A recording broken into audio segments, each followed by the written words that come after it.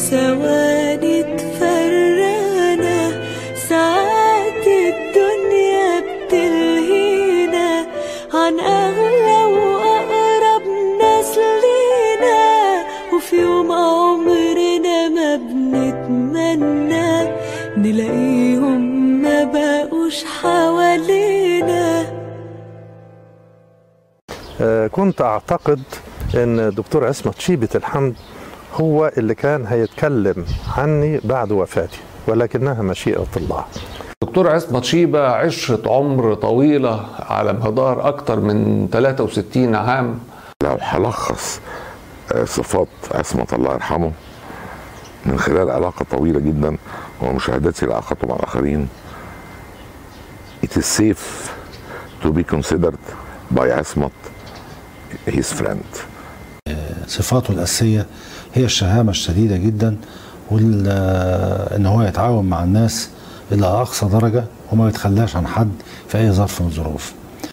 دكتور عصمت آه، ده شخصية استثنائية نادرا ما بنقابل ناس في حياتنا زي الدكتور عصمت. دكتور عصمت كان آه، دايما عنده شعور بالمسؤولية وتحس إن هو مسؤول عن كل الناس اللي حواليه حتى كبار وصغيرين. هو بالنسبة لي دايما كان حاجة كبيرة وكنا أنا والدكتور هاني عليوة كنا بنطلق عليه دايما لقب الزعيم وما نندهوش غير بكلمة يا زعيم.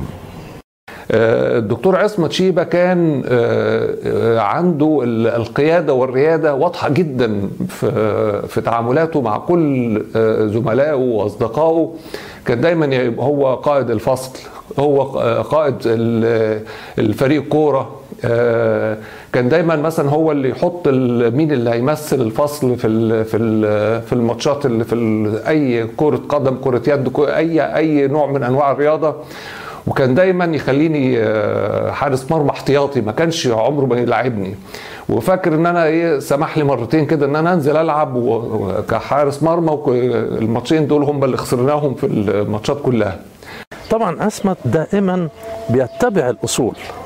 أنا فاكر أثناء تكوينه لمجموعة ألفا سكوب آه، آه، وده كان كلام قاله لي أنا شخصيا قال لي مش معقول أخش مكان آه، موجود فيه الأستاذ الدكتور محمد مشالي وأعمل المجموعة دي وأبدأ تشغيلها وهو لم يعلم.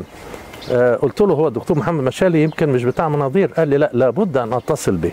وفعلا اتصل بيه والدكتور مشالي انضم لهذه المجموعة وأصبح لي آه، آه، آه، أداء ممتاز قوى المجموعة وساعد هو أيضا بهذه ال- المجموعة. موقف من 20 سنة وأنا مريت بأزمة فيها وكان عصمت يوميا يا يعدي يا يتصل.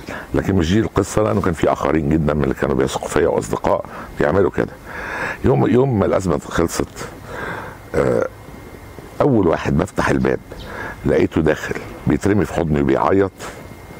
من الفرحة كان عصمت شيبة.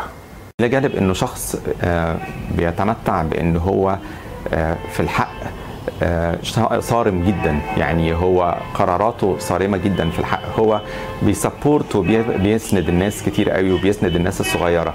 لكن لما بيجي على موضوع على الحق لقسم أمراض الباطنة كان بيبقى تصرفاته very sharp ومميز جدا فيها. دكتور عصمت كان آه، صادق جدا وكان تقدر تقول عليه راجل جدع. بيقف جنب كل الناس بيخدم الصغير قبل الكبير. يعني أنا أفتكر إن أنا لما كنت مدرس مساعد وكان دكتور عصمت أستاذ ما شاء الله وكنت نبطشي في الهيماتامسس في القصر العيني وكان عندي ظروف شخصية. دكتور عصمت خد مني النبطشية وكان هو أستاذ يعني فرق بيني وبينه أكتر من عشر سنين ونزل اشتغل حالات الهيماتامسس بالليل. يعني صعب جدا إن إحنا نلاقي واحد أستاذ ياخد نبطشية من واحد مدرس مساعد. دكتور عصمت اميز ما فيه إنه كان بيعرف يطلع من كل واحد فينا أحسن ما فيه. مش سهل إن إحنا نتكلم على شخصية زي الدكتور عصمت. هنجد جوانب كتيرة هتكلم عليه كأستاذ كمعلم كأب كأخ أكبر. شخصية ومن نوعية خاصة مش بتتكرر كتير ولا هي حقيقة كانت نموذج نموذج للأستاذ الجامعي. آه، زي ما كان المفروض يكون كل أستاذ في أي جامعة في مصر. غير حتة القيادة عزة النفس عنده عزة نفس عالية جدا و- و- وشموخ وعطاء آه، غير محدود. صديق ونعم الصديق. آه، آه، وطبعا الكثير يقدر يدرك ذلك. أنا مثلا لما أصبت أثناء عملي في وزارة الصحة أصبت بتمزق في شريان الأورطة الايورتيك discussion وقرروا إن هم ينقلوني إلى المستشفى لإجراء جراحة.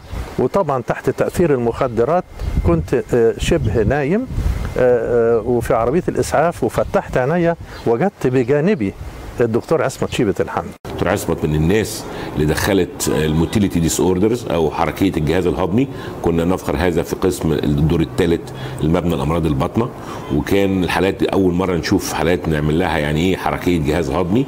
آه الله يرحمه دكتور عصمت. كان سابق عصره وراجل آه شجاع وشهم وصديق عزيز جدا. الله يرحمه.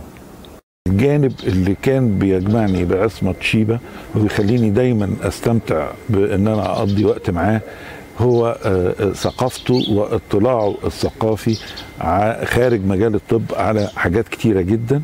منها كنا نتناقش في حاجات التاريخية والأدبية وطبعا كان أحيانا بنتناقش في المواضيع الدينية وتميز بأنه آه، غير سعة اطلاعه عمق فهمه لهذه المواضيع ودايما مناقشة معاه كانت بتبقى مناقشة ثرية جدا.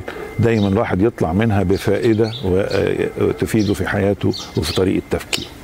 الناس اللي قال لهم باع إداري وباع كلينيكي. إنه في عهده ظهر حلم من أحلام قسم أمراض باطنة اللي هو كتاب القسم وال MCQ وال problem solving وإزاي طور نظام ال- الامتحانات وإزاي حارب وكنت أنا معاه في الجلسات بتاعه كتابة ال sub specialty في شهادة ال- الدكتوراه للأمراض الباطنة.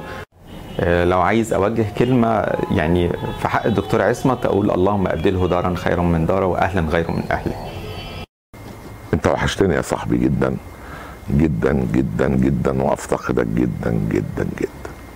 آه، دكتور عصمت آه، قيمة وقامة كبيرة لا يمكن أن تعوض. آه، يعني ربنا يرحمه ويجمعنا به في مستقر رحمته إن شاء الله. لو قدامي هقول له افتقدتك جدا يا دكتور عصمت على المستوى الشخصي والمستوى العائلي والمستوى المهني. وأنا ما كنتش متخيل إن الواحد ممكن يبقى موجود من غير الدكتور عصمت.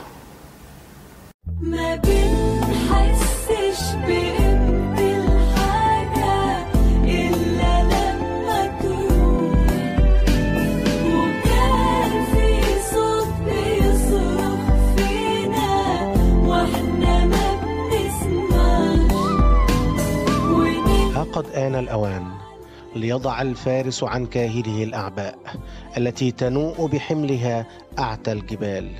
ذهب الفارس المغوار لاستراحته الأخيرة هانئا قرير العين بعد أن صال وجال ونثر عبير الزهور وعطور الرياحين أينما حل. ها قد استراح. بعدما أرسى قواعد كيف يكون الإنسان عظيما وقائدا وابا واستاذا ومعلما ومطورا. رجل حارب الزمن والمعتاد والتقليدي والمألوف والعشوائي. مات حبيبي وأبي وأستاذي وقدوتي وإن تجاوزت قليلا لقلت صديقي. الأستاذ الدكتور عصمت بك شيبة. أجل عصمت بك لا أقل. وعن استحقاق إنا لله وإنا إليه راجعون. فالأنقياء يذهبون سريعا. إمضاء ابنك وتلميذك محمد نجيب عبد الله. أو يمكن إن